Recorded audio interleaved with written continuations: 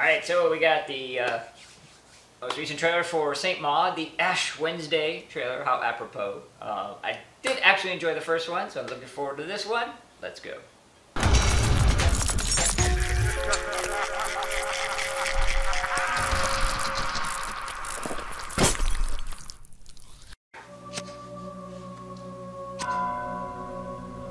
How long have you been doing this? Just over a year. What were you doing before? I worked in a hospital. What made you leave? It's what God wanted.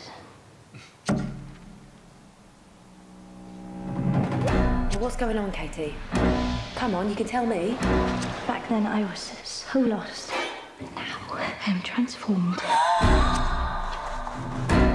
And soon, everyone will see. Real.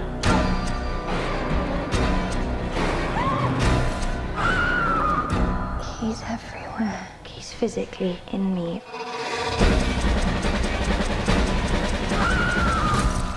May the Lord bless and keep you joy.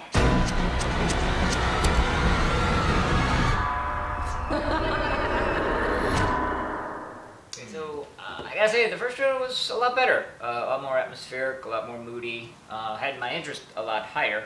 Um, the other thing is, is I think that uh, it's kind of become apparent that, that in certain titles, uh, A24 kind of has its generic trailer style, right? Um, it generally works, kinda, sort of. Problem is, is that it often hides the garbage.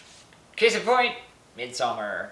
Midsommar had a very, very similar feel in its trailer as did, as did this, and Midsommar was almost unwatchable. So, first trailer had me excited. This trailer has me back on sort of a cautionary stance. Um, getting limited release, so it might be a little hard to pick up, but I'm going to keep my eye out for it. I got to give it a chance. Uh, primarily just based off the first trailer, honestly. Alright, let me know what you guys thought in the comment section below. Uh, especially those of you who saw the first trailer, because this really, well, it's quite the juxtaposition for me. Uh, I want to see if others felt the same way, or maybe I possibly am reading too much into it. Either way, let me know.